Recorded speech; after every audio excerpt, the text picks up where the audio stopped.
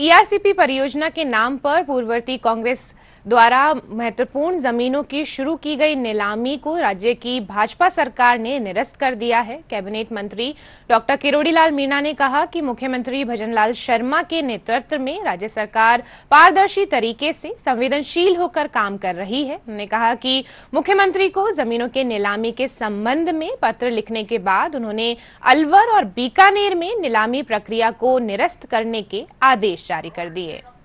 तो हॉर्टिकल्चर की ज़मीन।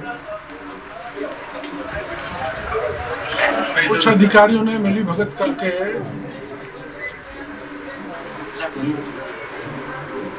अलवर में कौड़ियों के भाव बेच डाली थी। उस ज़मीन को आज राज्य सरकार ने निरस्त कर दिया।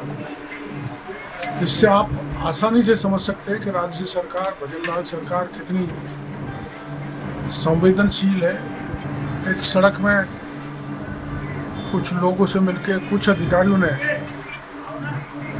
मिली भगत कर सरकार को करोड़ों का चूना लगाने का काम किया। उसके आज, उसको आज मुख्यमंत्री जी के निर्देश पर निरस्त कर दिया। मैं मैं इस मामले में मुख्यमंत्री जी को पत्र लिखा था।